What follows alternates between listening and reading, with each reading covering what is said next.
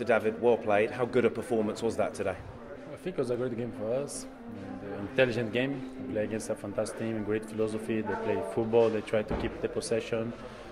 And everybody knows it's never easy to play here. Uh, so we waited for the exact moment to score and to kill the game.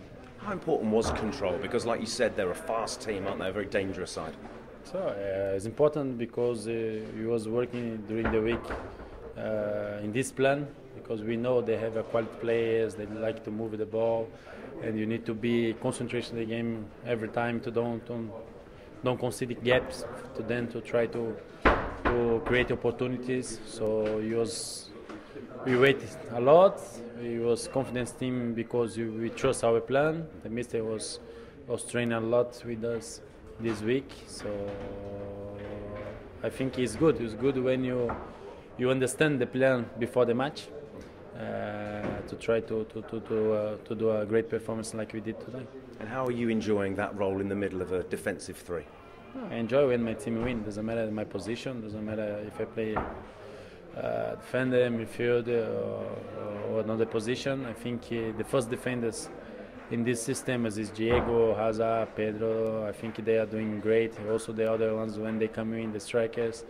So everybody speak a lot when about the defenders or the goalkeeper when we don't concede goals. Uh, four clean sheet in the row, so everybody speak about that. But for me, I think is the work is about the team.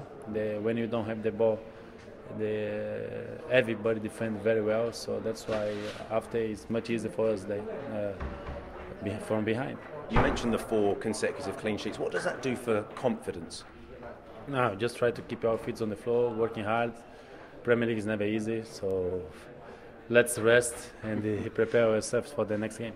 And to have Diego Costa in such incredible form up top, I mean, my word, every time he seems to play, he scores, doesn't he? I hope he can, he can continue this way because he's a great player, great person, and he, he works a lot. So that's why he's scoring because every day he try to, to work in the 100%. So I'm happy for him.